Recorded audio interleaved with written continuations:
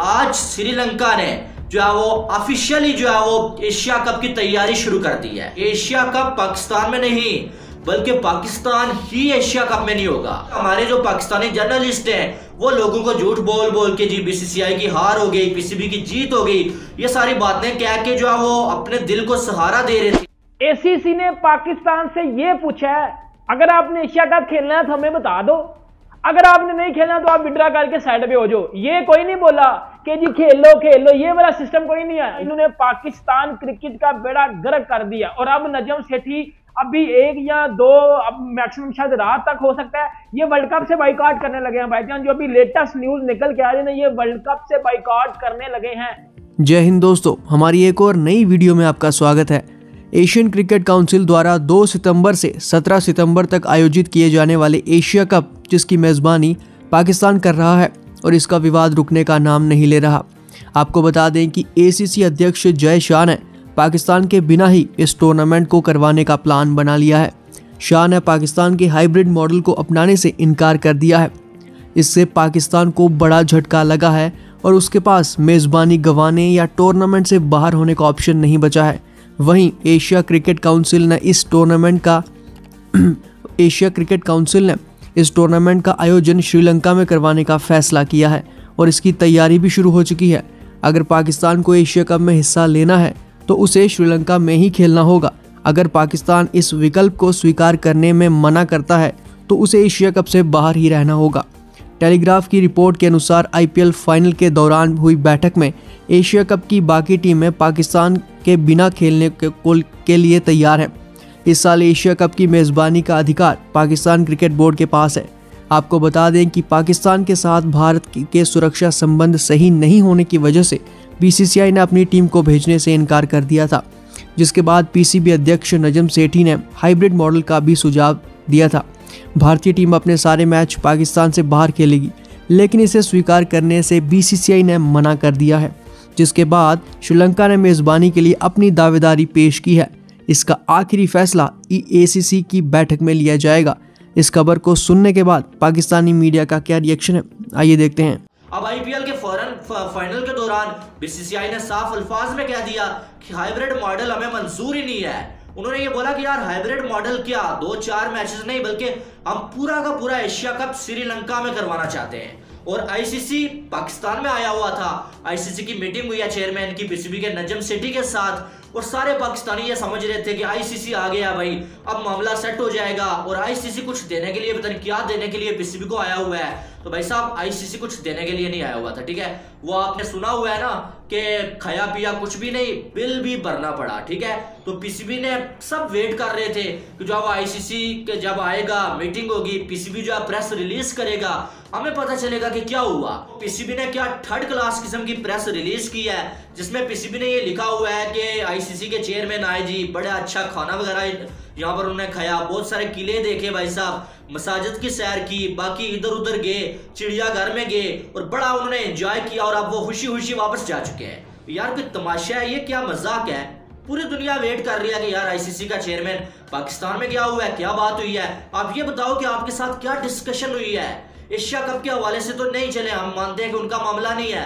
World cup के हवाले से क्या बात हुई है? वो कोई प्रेस रिलीज़ में बात ही नहीं है।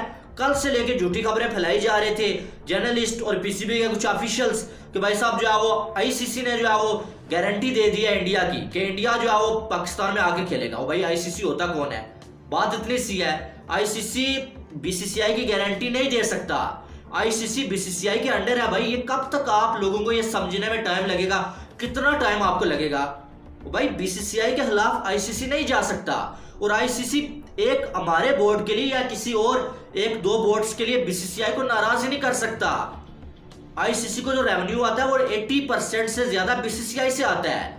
यानी कि जो पैसे आईसीसी अगर सौ रुपया मिलता है ना आईसीसी को तो सौ में से 95 बीसीसीआई देता है। बाकी पाँच रुपए हम देते हैं सारे। तो फिर आईसीसी हमारी वजह से बीसीसीआई को नहीं जो है वो नाराज़ करना चाहेगा। और ये हकीकत बात है, जिसकी लाठी उसकी बैंस है। सीधी सी बात है, पैसा है बीसीसीआई के पास। इंडिया के पास पैसा है। और कोई हम किसी से कम नहीं है। बात यह कि उनके पास पैसा है। हमारे बोर्ड के पास पैसा नहीं है।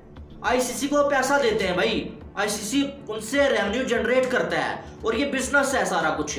जहाँ से आपको पैसे आ रहे होंगे, आप उसको कभी नाराज़ नहीं करेंगे। पता क्या नजम सेठी के अंदर अकड़ पता क्या है? मैं आपको असल अकड़ बताता हूँ। असल अकड़ ये है कि भाईजान इंडिया पाकिस्तान के मैच तो इंडिया पाकिस्तान के मैच में सबसे ज़्यादा रिवेन्यू जनरेट होता है। इस एट्टी परसेंट रिवेन्यू उधर से जनरेट होता है। हम नहीं जाएँगे तो हमें, हमारे ये तरले करेंगे। एल तरले करेंगे आपके भाईजान है। कोई किसी कोई किसी किस्म का लोग आपके तरले नहीं करेंगे। कोई कोई आपके पाँव नहीं पड़ेगा आगे। आपके बगैर क्रिकेट हो जाएगी और अच्छी खासी हो जाएगी। लेकिन दूसरी कंट्रीज़ को ये इंपैक्ट पड़ेगा ना आपका। बैड इंपैक्ट बैड इंपैक्ट पड़ेगा कि पाकिस्तान बड़े टूर्नामेंट से पुल आउट करने वाली टीम है, भागने वाली टीम है। ये भाईजान पाकिस्तान क्रिकेट का बेड़ा गर्क करने वाली बात कर नजम सेठी, गंजा ये पाकि मुझे मुझे बहुत ज़्यादा वट चढ़ा हुआ है इस बंदे पे। भाईजान मुझे एक बात है 2018 में 2018 में एशिया कप होना था इंडिया में। लेकिन नजम सेठी ने जी, या आई थिंक तब कोई और था शहर यार हान थे शायद। उन्होंने बोला कि जी, हम लोग नहीं आएँगे जी इंडिया ने वर्ल्ड कप एशिया कप खेलने, ये करेंगे, वो करेंगे एशिया कप चला गया यूएई में। 2022 का एशिया कप श्रीलंका में था यूएई में चला गया सबने खेला। और भाईजान अगर ये वाले एशिया कप यूए में चला जाएगा तो कौन सी मौत पड़ गई है? अब देखें, श्रीलंका में। 110 परसेंट ऑफिशियली अनाउंस कर दिया गया वेन्यू श्रीलंका में एशिया कप करवाया जाएगा। 100 परसेंट टेन जो है वो अनाउंस हो गया।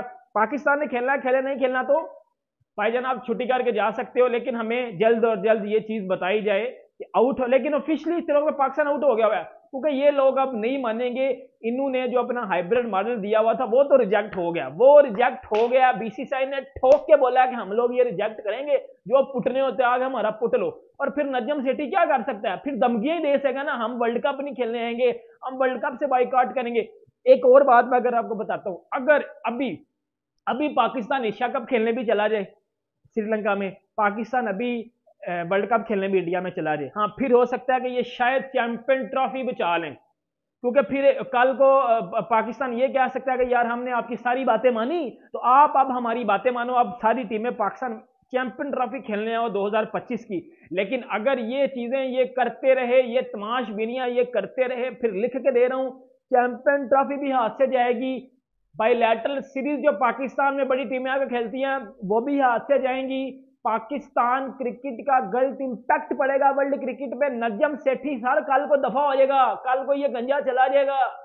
पहले रमीज राजा था, वो कितनी आगे चौधरी लगाता था। मैं ये कर दूँगा, वो कर दूँगा। किधर गया वो रमीज राजा? बीसीसीआई सचिव जय शाह, जो एशियन क्रिकेट काउंसिल यानी एसीसी के भी प्रमुख हैं, वो बाबर आज़म एंड कंपनी के बिना ही एशिया कप कराने की योजना बना रहे हैं।